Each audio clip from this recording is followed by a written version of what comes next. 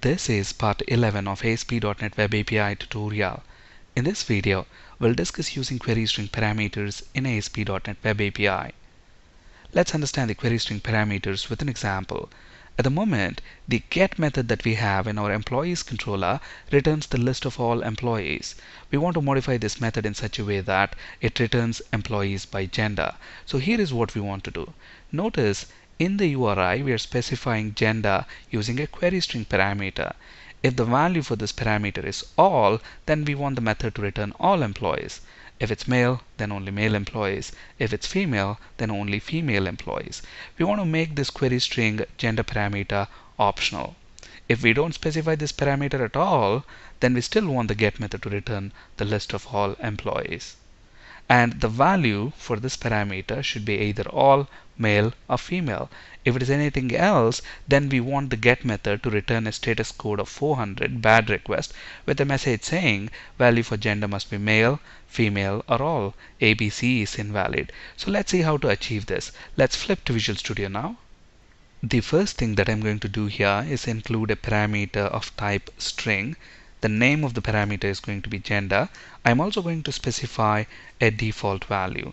This default value makes this parameter optional. So in case if we don't specify a value for this parameter, then it's going to use this default value.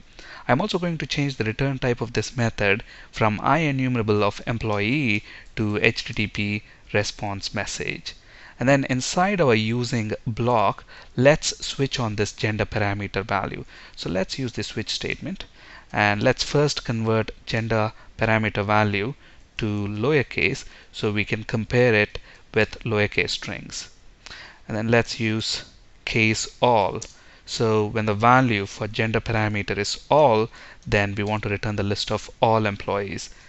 So let's use the request object dot create response in this case the HTTP status code is going to be OK and then we want to return the list of all employees. So entities dot employees dot to list.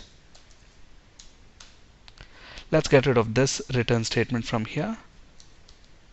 And now let's make a copy of this case statement.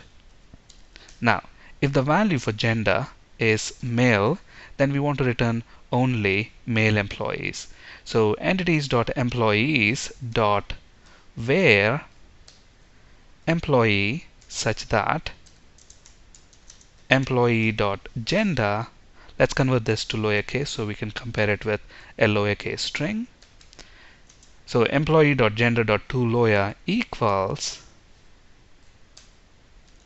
male and then convert that to a list and return let's make a copy of this one.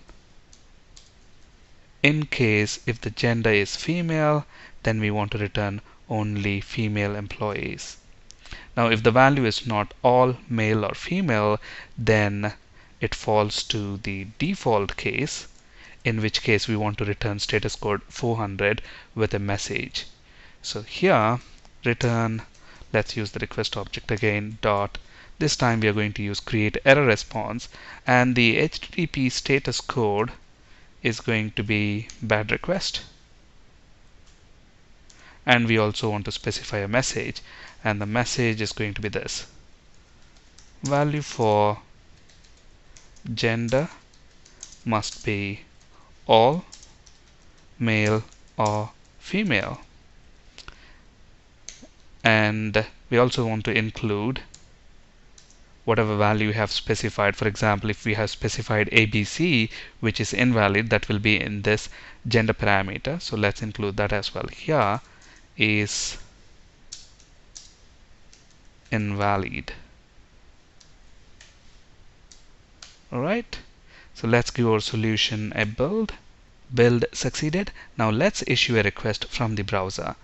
Notice within the URI right here, we don't have the gender query string parameter at all. So in this case, it should return both male and female employees. Now let's include the gender query string parameter. Gender equals female. So in this case, it should return only female employees. This gender query string parameter will be mapped to this gender parameter right here. So let's issue the request. Notice we get only female employees. Let's change this to male. notice we're getting only male employees and if we change it to all we should get all both male and female employees. Here is the code that we just discussed. Thank you for listening and have a great day.